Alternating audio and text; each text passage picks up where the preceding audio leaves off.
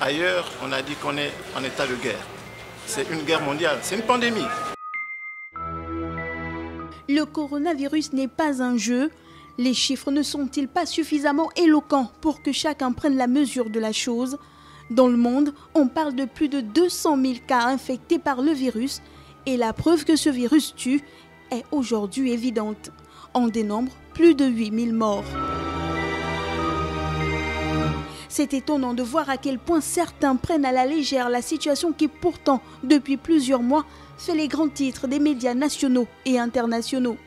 De son côté, prenant conscience des dangers que peuvent encourir les populations, les autorités gabonaises ont vite fait de mettre en place des mesures d'urgence afin de protéger le plus grand nombre.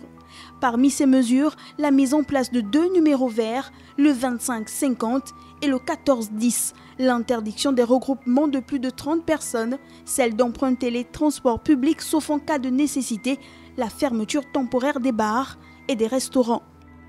Fermeture de tous les lieux de culte et recommandations de prière à domicile, suspension des audiences dans les tribunaux et cours, interdiction des visites dans les prisons, interdiction des visites dans les hôpitaux.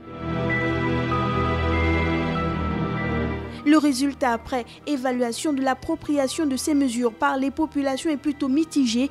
Les bars, par exemple, sont fermés certes, mais à l'intérieur des individus continuent de s'y retrouver. Malgré tout le tapage médiatique, il y a encore des raisonnements bien surprenants aujourd'hui. Eh bien moi je crois pas au coronavirus au Gabon. Je pense pas que c'est déjà ici. D'ailleurs, tout à l'heure devant vous, j'ai refusé qu'on me passe le gel dans les mains. Les numéros verts mis à la disposition des populations pour signaler des symptômes ou des suspicions de contamination deviennent pour certains un véritable passe-temps. On appelle pour faire des gags, des blagues, au détriment de ceux qui réellement ont besoin de s'informer. Alors posons-nous les bonnes questions. À quel niveau sommes-nous inconscients?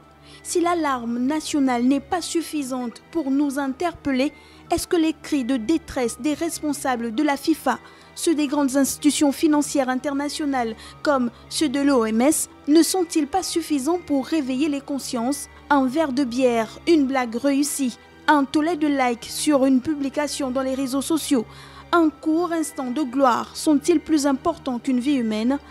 Plus que jamais l'intérêt de tous devra primer sur les petites considérations personnelles.